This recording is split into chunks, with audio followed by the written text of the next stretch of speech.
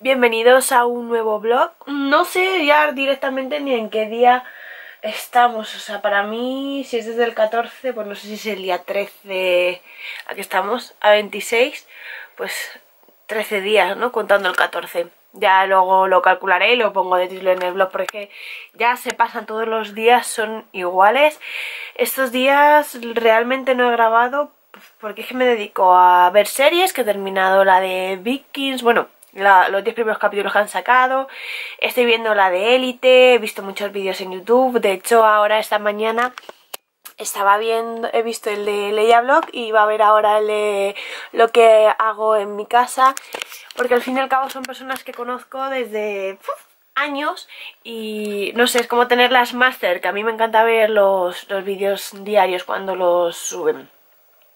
Y luego también he estado leyendo que me he terminado este, que es el, primero de Harry Potter, y este que se llama The Giver, que os leo. Jonás. Al principio fue un susurro, sofocado, apenas audible. Jonás, Jonás. Luego más fuerte, más deprisa. Jonás, Jonás, Jonás.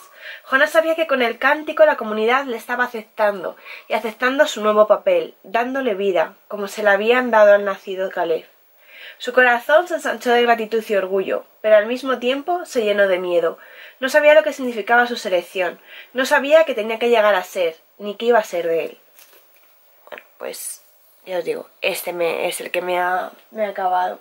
Y estoy con varios a la vez porque si me pongo solo con un libro al final me, me termino cansando y os lo enseñaré. Y la verdad es que estos días, aparte de eso, es que he estado bajoneada porque es que aquí la situación en Leganés es de locos. El hospital, ya la gente por los vídeos que estoy viendo, mm, por los suelos, o sea que como pase algo que no nos van a poder atender. Se han escapado pacientes. Esto no sé si es en plan Walking Dead, que van por ahí sueltos infectando a la gente. Es que no, o sea, no lo entiendo.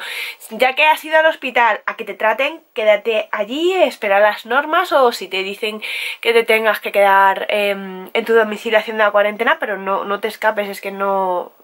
No sé, no cabe en mi cabeza.